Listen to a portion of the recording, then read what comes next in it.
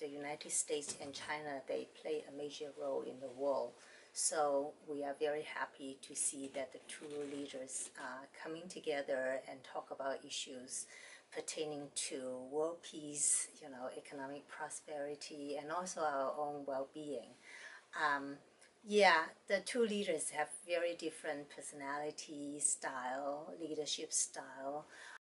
Because of immigration selectivity, a lot of the Chinese immigrants, when they came to the U.S., they already have um, college education, professional degree, and also very uh, good economic standing.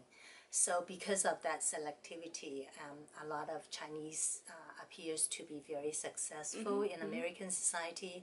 But today, with the rise of China, there are a lot of opportunities. So the Chinese immigrants here in the United States, they go back and forth because um, uh, China is rising.